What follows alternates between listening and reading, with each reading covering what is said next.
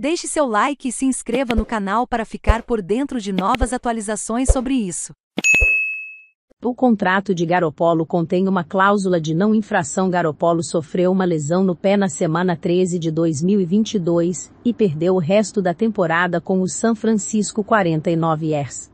Ele passou por uma cirurgia esta semana, depois que os Raiders decidiram que ele não poderia jogar, Garopolo assinou um contrato de três anos em março por 72 dólares e 75 centavos. Ele estava originalmente programado para receber um bônus de assinatura de 11,25 milhões de dólares e um salário base de 11,25 milhões de dólares em 2023, mas o contrato foi alterado devido à sua lesão. O bônus de assinatura foi retirado e o salário base foi alterado para 22,5 milhões de dólares.